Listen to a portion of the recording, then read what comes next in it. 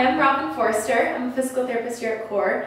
Um, and we're just kind of doing some room tours here today. I've been working here for about a year, um, so I still have some decorating to do.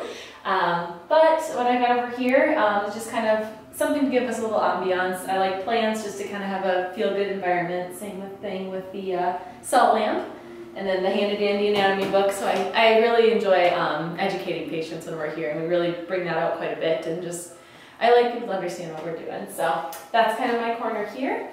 Um, then over here is pretty much my sole artwork I have on the walls, um, but I painted these myself. It's a hobby I have kind of in my past, or in my uh, free time I like to paint, so I like to bring that into uh, my room here.